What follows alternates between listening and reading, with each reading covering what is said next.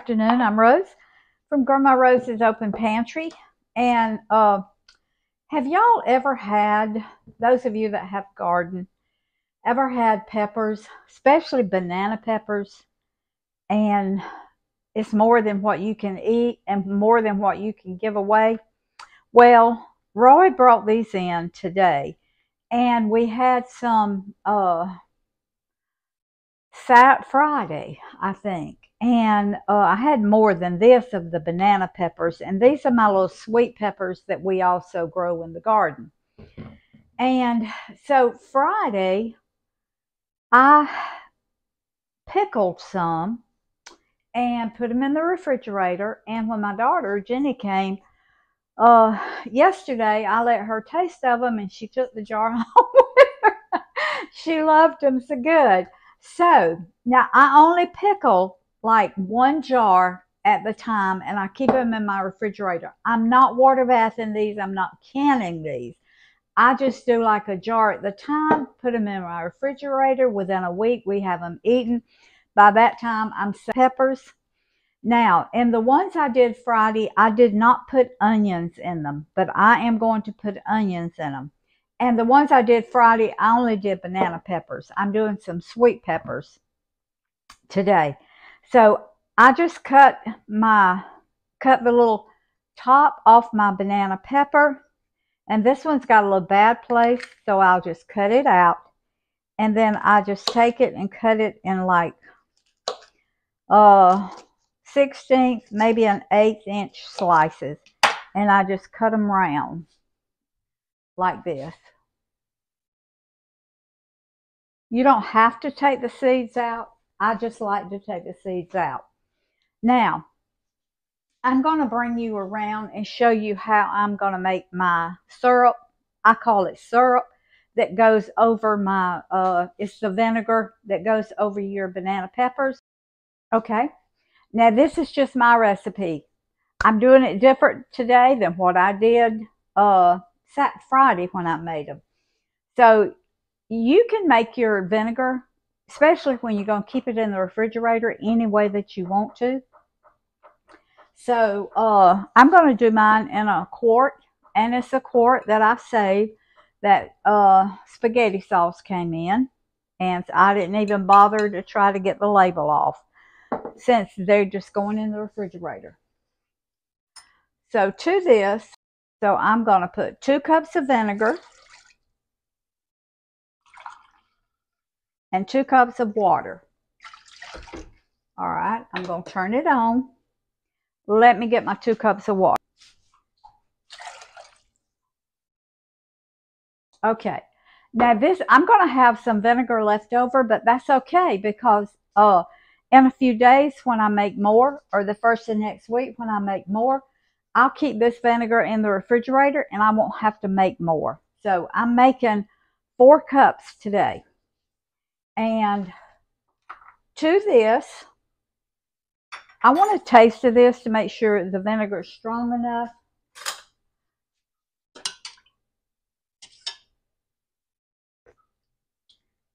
Mmm.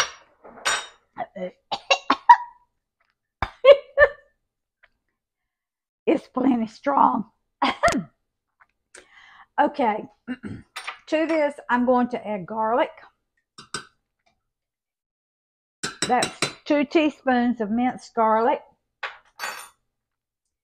I'm going to add a fourth cup of, uh, I mean, a fourth teaspoon of turmeric. And all that does is just turn it kind of yellow. It makes it really pretty. Plus, it gives it a little bit of a different flavor. Plus, turmeric's real good for you. All right.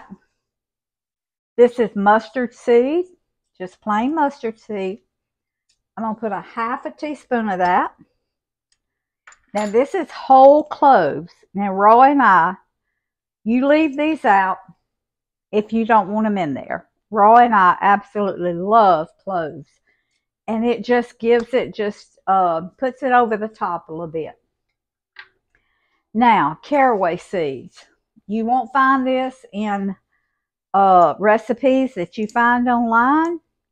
But I put some in. I'm putting four, a half a teaspoon I put some in that I made uh, Friday, and we loved it. And this is tarragon, and I'm gonna put a fourth teaspoon of tarragon in there.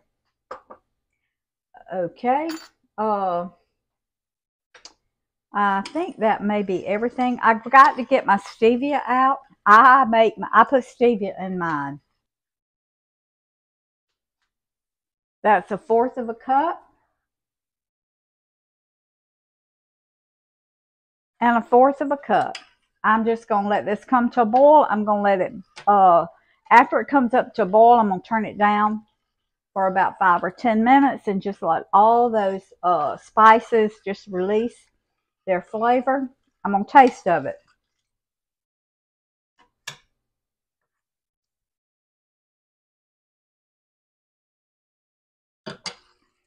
Mmm, that's good. I'm going to tell you what else I do sometimes. This is pickle juice that I had left where I made my stevia pickles the other day. Sometimes I put some of this in there. It's already got the spices in it. Uh, and we like it. So sometimes I put this. I uh, pickle pears. Pipe, Peter pipe a, a peck of pickled peppers. So uh, my pear pickles. I sometimes I'll put some of that vinegar in there. And it's just I make it different. Every time I do a jar, usually I'll make it different because we like variety. So, but uh, I'm to put more stevia because that's not quite sweet enough. That's a whole cup of stevia. Now, if you don't like the sweetness, you leave it out. Don't put it in there. But I would put a little. I would put at least a fourth of a cup. But we like ours on the sweet side. And all pickled peppers, banana peppers, call for a little sugar. So it's about to come up to a boil.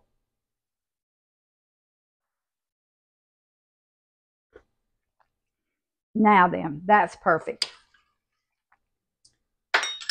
I'm going to put a few more cloves in it. Okay. It's going to about to come up to a boil and I'll let it cook about five minutes.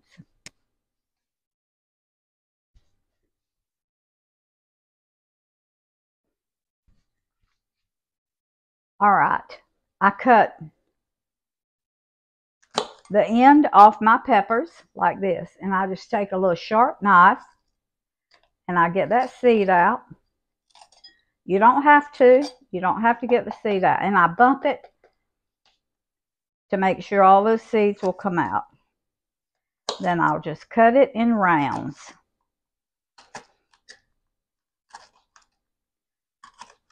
Like this. I need to sharpen my knife. I think I'm cutting in like maybe eighth of an inch little rounds. All right, and I'll just put them down in my jar. Okay, I've got some orange down in the bottom.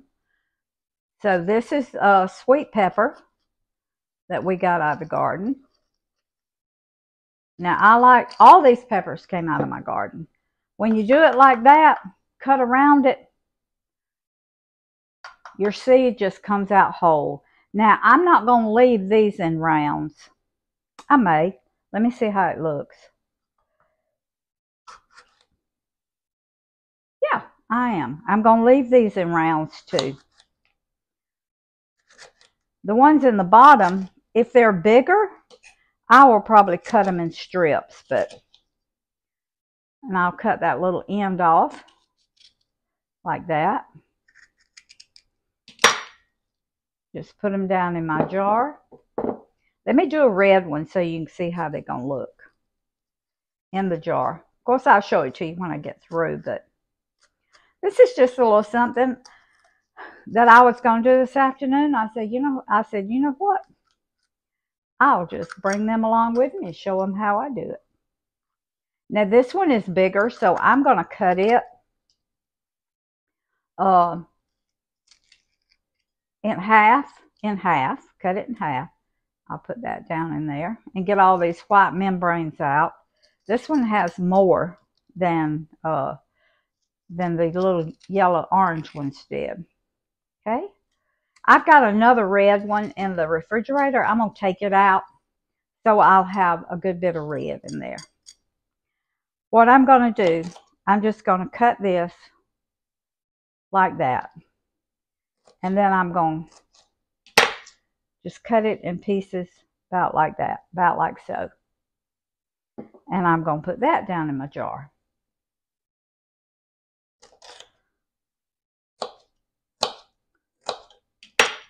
Okay, and if you leave a few seeds, that'll be fine. It doesn't matter. But I want it in big enough pieces to where you can just pick it up with a fork. All right, I'm going to keep cutting my peppers, and when I start to put it in my jar, I'll be back.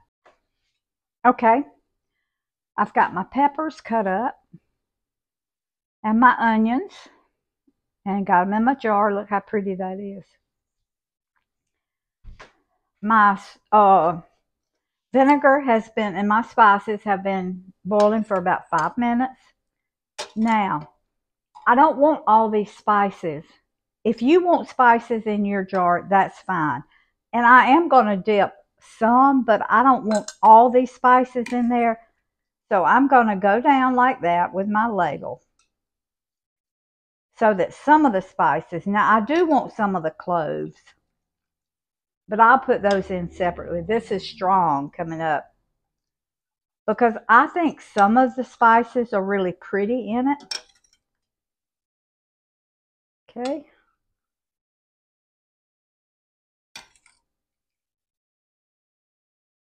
Especially the mustard seed and some of those seeds. All right. And I'm going to put it up to the top with my vinegar. I had a little strainer out here, but uh, there's enough vinegar here that I can just skim off the top and I won't have to use this.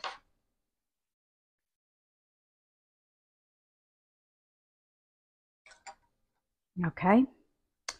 Now I've got my lid. I want to uh, kind of, you call this debubbling, debubbling when you're canning. But I'm just trying to get some of those spices down in the all throughout the peppers. And when you do this, your peppers are going to come to the top. And you just press them back down because you want all of your peppers and onions in that brine. Some people call it brine. And I guess it is brine. All right, I'm going to put my lid on it. I'm going to screw it down good. I'm going to let it cool. And then I'm going to put it in the refrigerator. And Roy and I, after a day, it's ready to eat. Isn't that pretty? See some of your cloves and some of your spices, you can see them floating throughout. And you want that because it makes for a really, really pretty jar. Tastes like dessert. Tastes like dessert. That's right. We love Delicious. it. And I've got enough uh, brine here, or syrup, or juice, vinegar, whatever you want to call it, for probably two more jars. And that's the way I like to make. I like to make enough when I'm making that I can just keep it in the refrigerator. Then when I get ready to do another jar, I just heat this up, pour it over my peppers, then put it in the refrigerator. So if you've never thought about doing this, you may have two bell peppers, two red peppers, a few banana peppers, and you don't have to do it in a quart. You can do it in a, a half pint. You can do it in a pint. Ever what uh, suits your family. But I'm telling you, this is really, really it's a real good. accent to your meal. Now, it's not your traditional, it's not recipes that you will go online and find because all these are my spices that Roy and I love. And by the way, I did pour a little bit of my pickle juice in here. This is some pear pickle juice and some cucumber pickle juice that I poured in here. I keep a jar under my bed. Roy said he keeps a jar under his bed. Oh. So now I've got my brine for my next jar after we eat these. And I'll leave these in the refrigerator the rest of today and probably tomorrow, and then we'll start eating them uh, Wednesday. And that gives all your uh, spices time to absorb into your pickles, and it gives your uh, vinegar and time to make pickle, to make it a pickle. So thank y'all for joining me this afternoon. I thought y'all might enjoy just watching me do this and uh, see how we, how I go about doing things. So I'm not your tr traditional uh, cook. I'm not your, I don't do things traditionally a lot of times. I do it to our taste and the way we like it. And I, every time I do it, now if I'm canning tomatoes, like I canned some tomatoes this morning, yes, I do. But things like this that you can be versatile or you can just ever how you want it to taste, you can just make it that way. I do. So thank you for joining me. Hit that share this video, hit that little subscribe button. And if you don't have these spices, put the spices in it that you like. If you don't want it sweet, cut back on the stevia or sugar. Now I use I use stevia, but you can use sugar. Cut back on it. And we just happen to like sweet. And so uh subscribe to my channel, hit that little notification bell. Healthy. You talk about healthy. Now this is healthy. And oh, get you some peas or some butter beans or some dried pintos or uh, some those big fat dried butter beans. Mm-mm. Now this is really, really, and a fresh tomato. Mm. This is really good with that. So food feeds the family. Family feeds the heart. God feeds the soul. Put deliciousness back in healthy food. Love y'all. See you next time.